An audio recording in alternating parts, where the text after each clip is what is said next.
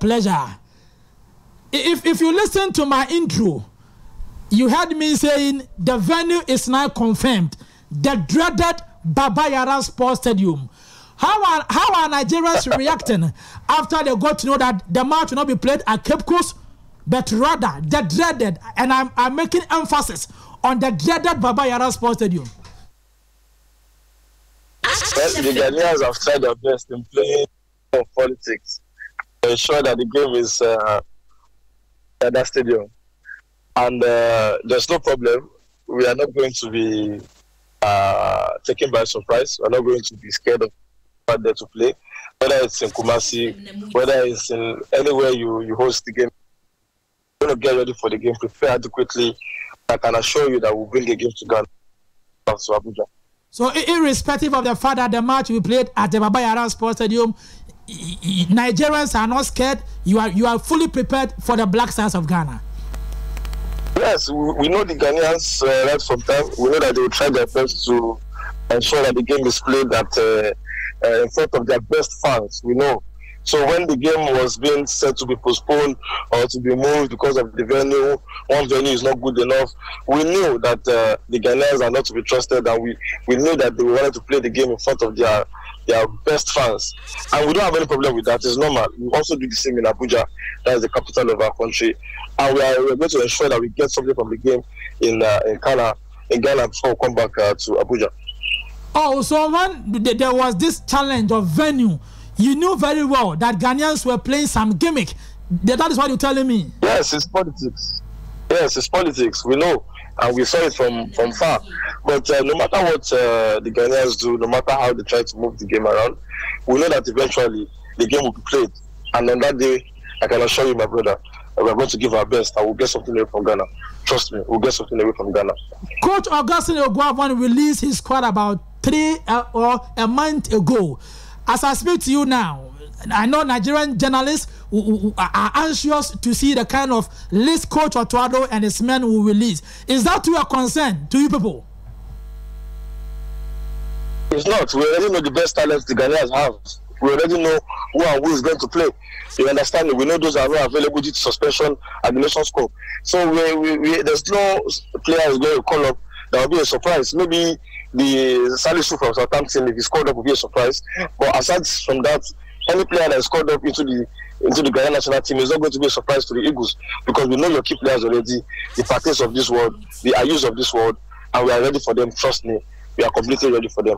And our aim is if we don't get a victory in Ghana, we at least get a point in Kumasi. I can assure you. You you sound very confident. What, what might be your reason? The reason is because the the, the, the, the Nigerian players know that uh, the the World Cup is too important for us to miss out, especially at this stage. It is a different ball game if we didn't get to the playoffs at all. But we're in the playoffs, so why miss out of the Mundial when we're in the playoffs already? So be it Ghana, be it Egypt, be it anything we, could have faced, I can assure you, uh, without any shadow of a doubt, that Nigeria is going to make it into the into the into the Mundial. We'll definitely get uh, one over Ghana. I can assure you, and I and I want you to call me back after uh, both games have been played uh, after April 4. I will be having discussion all over again, and I'll tell you, I told you that Nigeria is going to qualify for the World Cup. You, you just said Nigerian players know the importance of this game. So, what makes you think that Ghanaian players also don't know the importance of this game? I'm Nigerian and I have to speak for my country and my people. I know that I never said that spirit is going to uh, be reviewed again. The Ghanaians, they know Nigeria they know that this is not the first time we are going to be stopping them from going to the World Cup. We've, we've done that before and uh, it's not going to be a new thing. We have a very uh, uh, talented crop of players, which you are aware of. A lot of them playing in very top leagues in, in the world. I'm sure the Ghanaians deep down they are scared of the Super Eagles, and that's why they are trying to play so much gimmicks and politics, and also trying to hide their team list. But that doesn't matter. It's enough not shake at all. We have released our team list weeks ago, so it's not a big deal for us. We're just going there to do our best and get the results. That's all you, are listening to us live from Ash 101.1 FM Kumasi. On the line is a colleague journalist um, who works for Lead City Radio in faraway Ibadan in Nigeria by name Tobi Olubiyi. We're talking about the all important game to be played at the dreaded Baba Yara Sports Stadium on the 25th of March. Tobi, What, what, what, are, yes, what, what are Nigerians saying towards this game? Back home, what are, what are your people saying? Well, our people are just demanding for one thing get us into the World Cup. And Coach uh, Augustine Eguavoen, that is the only task he has in front of him. Just get Nigeria into the World Cup, and every other thing will be taken care of. And we know, we believe that uh, it's not a birthright, but uh, it's something that we have to achieve. I believe definitely that we're going to get into the World Cup, uh, and it's going to be unfortunate for Ghana because they will be missing out. Uh, is is Eguavoen aware that he's, he's coming to meet the three wise men in the shape of Otto Coach Masoud Didi Dramani, and then um, George Boateng? Is your government aware of, of, the technical team he's coming to meet in Kumasi? Uh, well, we are aware that uh, after the Nations Cup, the the technical team of the Ghanaians had to be shaken up, but we didn't shake us up. We stuck to Coach Augustine Eguavoen, who took us to the Nations Cup, even though we didn't go as far as we'd like. But we believe that uh, in continuity, that uh, he's going to do better in the playoffs against Ghana. And that's why we decided to stick with him instead of bringing in uh, uh, uh the, the Portuguese uh. So, unlike the Ghanaians, we stuck to our coaching staff, and I can assure you that's going to be one of the best decisions the NFF has ever made. By sticking to Coach Augustine Eguavoen. Tobi, you, you surprised me this afternoon because if there is one nation who is always afraid to meet the Black Stars of Ghana, if there is one national team who, who, who always panics anytime he's facing Ghana is the Super Eagles of Nigeria. So I'm very surprised you, you, you are sounding very confident as if you don't know you are coming to meet the Black Stars of Ghana.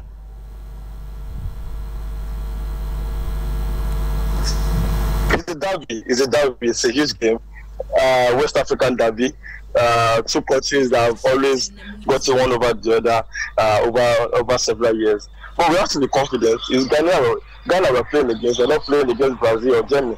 Playing against Ghana. We can definitely hold our head above water. I can assure you. So there's nothing to worry about for us. We're not playing any politics or any gimmicks with you guys. We're just releasing our squad at the right time. We are giving out the right information.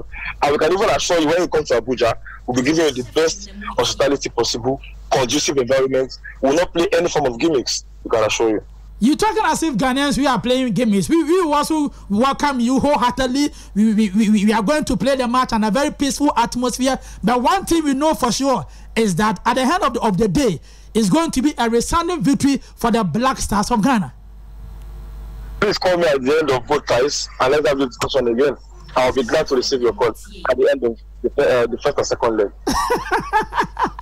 Surely we, we, we definitely talk, and um, uh, we, we, we will also come to Ibadan. Uh, we will come to Nigeria, and then we, we, we will definitely qualify.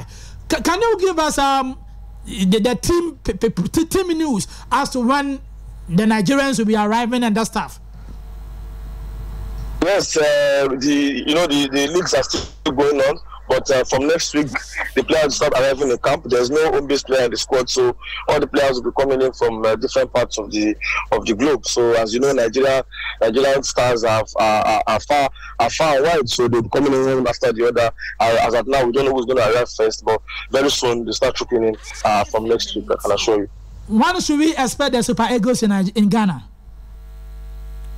Um, I, am not sure of the travel schedule yet. I'm not sure yet, but I'm sure uh, they'll be arriving maybe uh, the 20, maybe 22nd, 23rd, since the game is on the 25th. So let's say two, three days in Ghana. I'm sure they will arrive because it's just uh, an hour flight uh, from Abuja all the way to Ghana. So it's not uh, really a big deal for us. They'll be well and they'll be ready to go on the 25th. Are you confident of Nigeria qualifying because of the absence of Ghana's El Capitano? The day are you inability to play in this two-legged affair?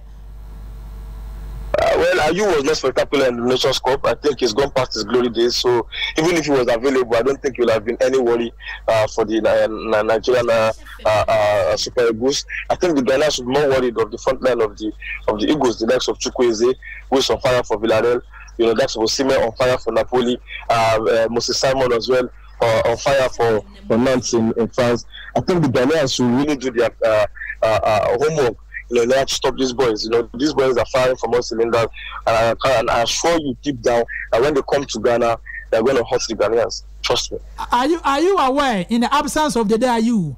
We have what, the, the master, the, the dynamo in the shape of uh, um, Thomas Partey, who plays his trade for Arsenal in the EPL. Are you aware of that? Yes, I'm aware. It's, a fantastic pitch of form. Uh, he's playing good football for us, no, no doubt. But uh, Partey he's, is only good uh, off the ball. Uh, defensively, he's a stalwart. But when he has the ball, what more can he do? You can't compare what he offers with the ball to what uh, someone like uh, Ayew will offer with the ball. So he's completely different player. But uh, he's a good Ghanaian player, I must say. But uh, in that midfield, it's going to be a battle between he and Wilfred Ndidi, who plays straight for Leicester City, also in the English Premier League. So that will be an interesting battle to see uh, in both legs. Will you be coming to Ghana? No, no, no. But I'll be in Abuja. I'll be in Abuja definitely, but I'll not be coming to Ghana. is, is, it, is it because of the kind of scoreline we will give you? Um, that is why you are afraid to come, or, or what? we know our boys will do the business in Ghana, so no need to be there. So we want to be there on the second leg where we'll be celebrating our qualification uh, uh, to the World Cup in Qatar. Because I'll also be going to the World Cup in Qatar. I'll be booking my flights as soon as we get our ticket against Ghana on April 4th. It, it's quite unfortunate Nigeria will, will, be missing out, but I'm all the same. Thanks so much for talking to us live from Nigeria. Um, safe, safe, uh, uh, we wish the Super Eagles um, safe trip to Ghana, but that that is one thing for sure. Remember, the game is at the oh. dreaded Baba Yara Sports Stadium. No problem, my brother. We'll see you. We'll see you. Thanks so much for your time. All right.